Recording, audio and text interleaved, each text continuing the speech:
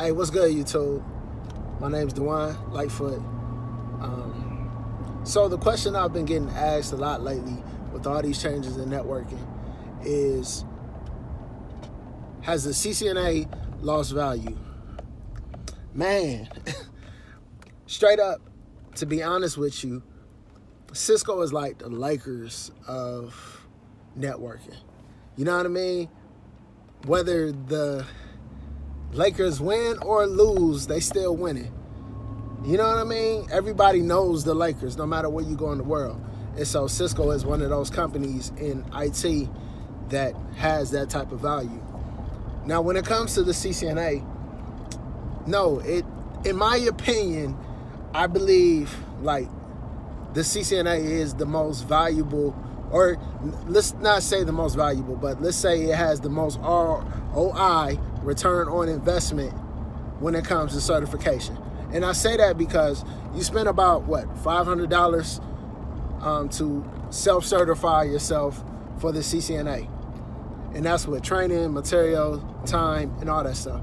And let's go a little bit higher. Let's say even a thousand dollars on getting your CCNA and once you get that certification, now you build your soft skills, you build your network, you put yourself out there, get your resume, keep improving yourself, and eventually you land a job making about 40, 50, maybe even 60, close to $70,000. And that's been proven time after time in the industry and especially on my channel i've talked to so many people and helped so many people achieve that that i know it's possible no matter where you are whether it's a small town or large town it's all about how you market yourself and do the things that i just mentioned. So i think the issue with the ccna and one of the reasons that cisco has made this transition to have one ccna that is more of a foundational cert is because there's so much talk about you get your CCNA and that's all you need and it's like a ticket to a hundred thousand dollars but that's not the case at all that's not the case there's so many other variables and so many other things you have to apply to your life to achieve success in IT but I disregard so back to the point of why Cisco made this transition is because you need a more rounded skill set. You need to understand firewalls. You need to understand network monitoring. You need to understand network programmability. You need to understand containers. You need to understand virtualization. IT is changing. You need to understand the cloud, wireless. So just getting your standard route switch CCNA, it, it's it's hard to it's hard to compete with somebody that has a more rounded skill set. That let's say, and not even comparing the CCNA and Network Plus, but let's say the Network Plus is more of a general cert that teaches you more general information than the CCNA. Although the CCNA is going to teach you how to troubleshoot Cisco equipment, which also gives Cisco another leverage when it comes to certification because they have a they have like the largest market share when it comes to hardware in environments in the industry period so that's one of the reasons that cisco ccna has so much value because so many um, vendors and employers have invested in cisco hardware so they need someone to come in that knows how to support the equipment that they have now that's where things get hairy though. Because I say come into the environment and then support the equipment that they have, which is Cisco equipment. If you pay attention to what's going on around you, a lot of companies are offloading applications, so, uh, applications and infrastructure to the cloud. So things are changing not to scare anybody. I mean, you're still going to need some type of switch, some type of router, some type of some type of um, firewall, like on premise, to be able to VPN into the cloud. So someone has to support that, but you need a, a, a more rounded skill set to be able to, to support these public, hybrid, and private cloud environments. You know what I mean? So to get back to the point of this video, has the CCNA lost value?